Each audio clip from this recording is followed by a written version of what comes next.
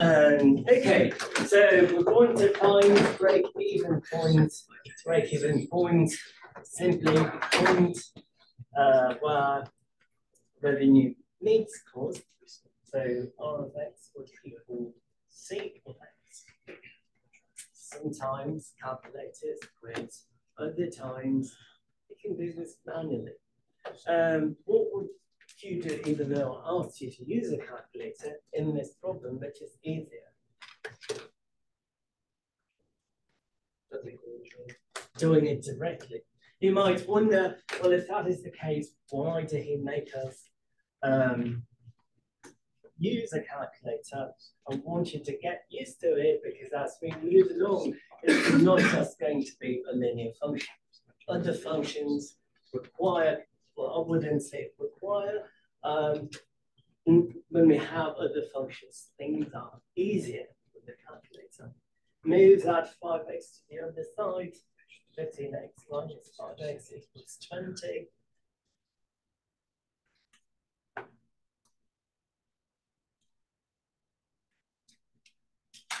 X is 10 tacos. Oh, bad math. Two tacos. I got excited. Hungry. You want tacos? exactly. My brain's there. Um, okay, so two tacos. Questions? Um, the next question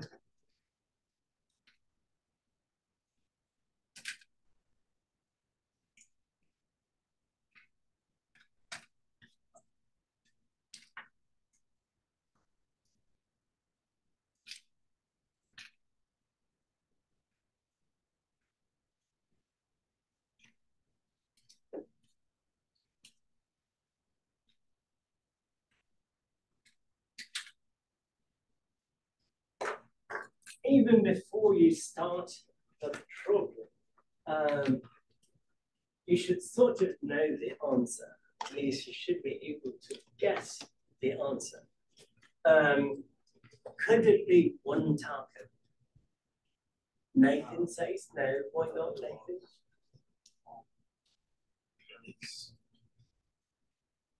Yeah, if you put the C of X, the cost, that's, um, you know, it's just. You could do this, but I know where you're going, so just explain. Um, you put one in X, that's twenty-five dollars. You put one in revenue, that's a negative profit. Okay. I don't think anyone would pay a hundred dollars for a taco, a single taco. Okay. Fine. Use some math. Um, Hayden, right? What's your name? Brady. Brady. Um, by now I should know. Troublemaker.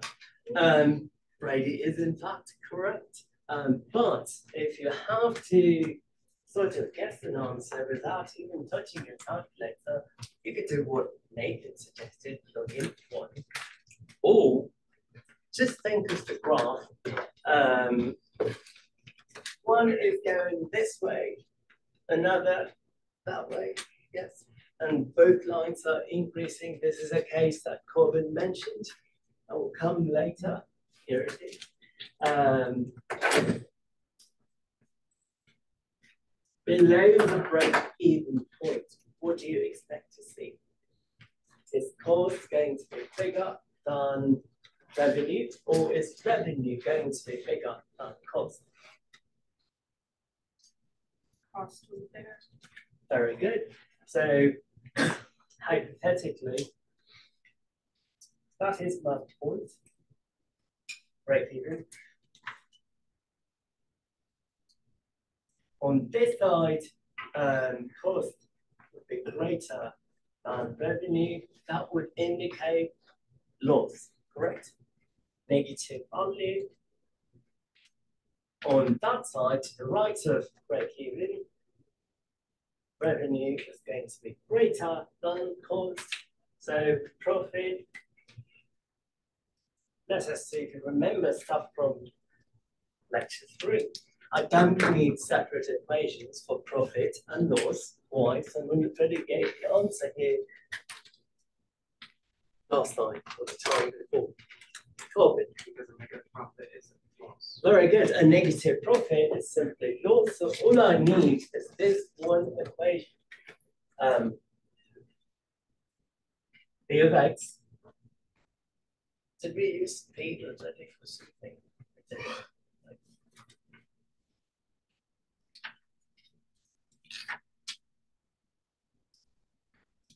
So revenue bigger than cost, profit is positive. You have profit with revenue is less than cost, negative profit, loss, they are the same, profit is zero, break even. That said, how do we solve for that?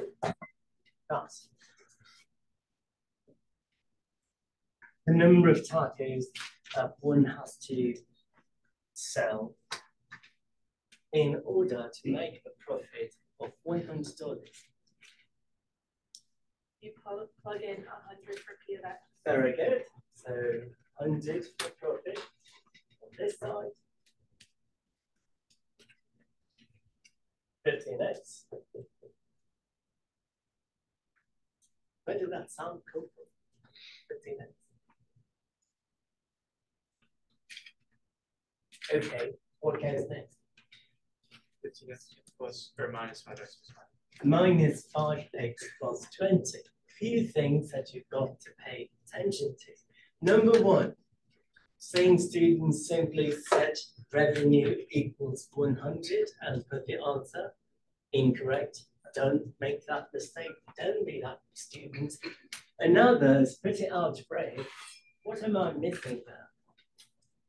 Vincent? Very good. He listened to me.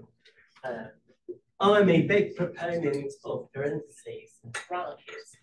If you use them, you're not going to make mistakes, so use them. 15x minus 5x minus 20.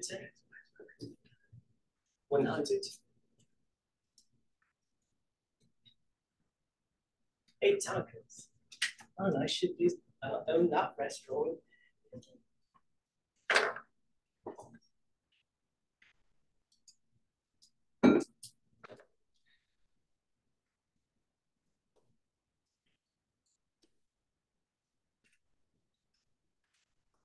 I'm hypothesizing. I know the answer. Six tacos would result in a profit of five hundred dollars. I want you to tell me if this is true or false. False. False. Why is that? Uh, no. Okay. Wait. Okay. Why? After every taco after two, it's basically ten dollars profit. Interesting way of putting it. Okay. So Brooke looked up the break-even point and louder. Uh, after every taco after two is ten dollars per taco, which means we've made forty dollars. Okay, so Brooke used this equation, profit equation, and said, well, after two tacos, every taco is going to give you a profit of ten dollars. But even though it is a correct explanation, without using that explanation, would you be able to come up with an answer? If eight is a hundred dollars, then it will Very good, answer correct. Okay, Emily, Emily is correct. Did- Did we follow what Emily said? So I'm getting a hundred dollar profit with eight targets and if things are going this way. There is no way that I'll make a profit of five hundred dollars when I have six targets. Oh. Yes, I think it would be twelve tacos. Make a mistake. Oh, yeah, thank you. Well, still, true or false? That doesn't change. Do make that correction. Um, this is false.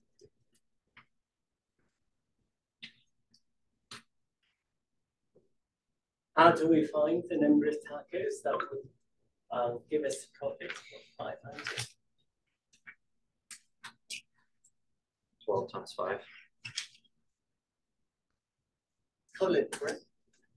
Colin says 12 times 5, 60 tacos. Is that correct?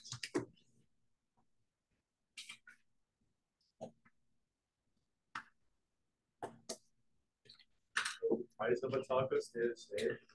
Yes. Yeah. Okay, twelve times five, um, sixty, um, tacos, another way of doing this. I have my hand here for a reason.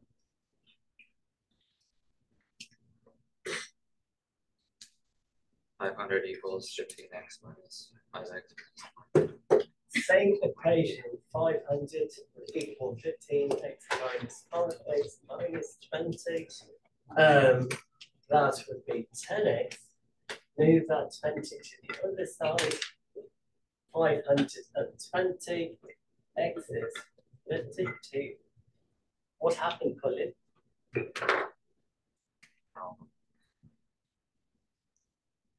Guess I didn't do that algebra right You didn't do algebra. So, if life were uh, that easy, I simply multiply twelve tacos by five and get an answer. Hmm, I wouldn't be on in this galaxy. I've gone a long time ago. What Colin forgot to notice is this one's got an intercept term. If that intercept wasn't there, then sure, the answer would be sixty. We have an intercept, so more work. Good. Um, any questions? Okay,